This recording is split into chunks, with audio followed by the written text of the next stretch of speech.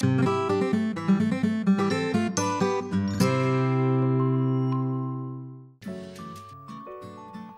my name is Isidro Alves. I own Sandhill Dairy here in Fallon.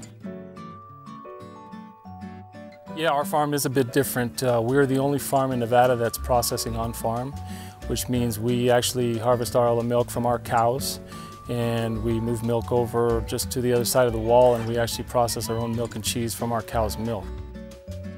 We package milk, so we make a non-homogenized whole milk and we make flavored milks. We make a strawberry and a chocolate milk.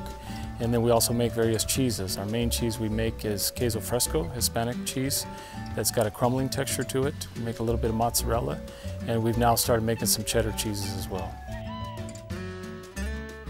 There's a ton of products that are made with with uh, milk. Of course, you package milk, but then after that, a lot of cheeses, or various types of cheeses that are made.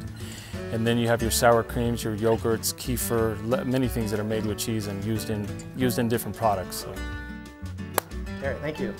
We're rolling. It's official, huh?